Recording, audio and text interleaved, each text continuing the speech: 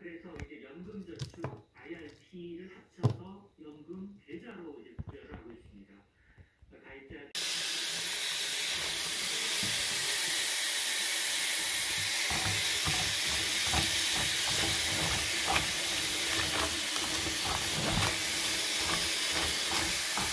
디자이너인데 미국의 아트스쿨에서 공부하던 시절에 그린 몇 장의 스케치에서 이 자동차가 시작되었다고 합니다.